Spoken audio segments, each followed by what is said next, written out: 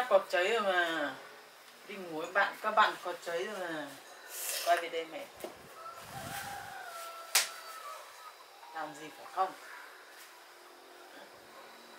Không muốn đi học á? Không muốn đi học? Đi học chứ? Mẹ có đi nó đâu mà. Mẹ ở nhà đợi con đi học về nhá. Sao mẹ đi làm á? Mặt trắng cười cười sao đi học? Làm như thế này á? Đấy là sao đi học? À sao mới đi học được chứ? Con khá đi nhá.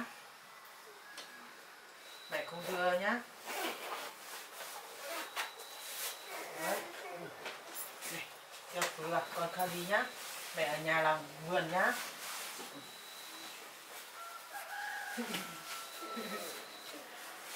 Sao lại không? Ừm, đi đi học. Việc đi học nào.